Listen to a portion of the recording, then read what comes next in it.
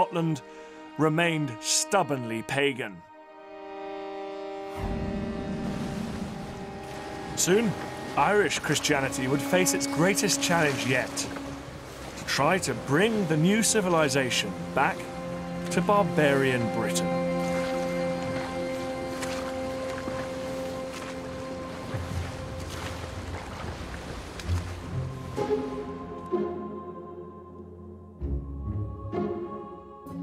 And the second and final part of Dan Snow's investigation is next Thursday night at 11 o'clock. Tonight, we're off to Swindon with the Antiques Roadshow. Next.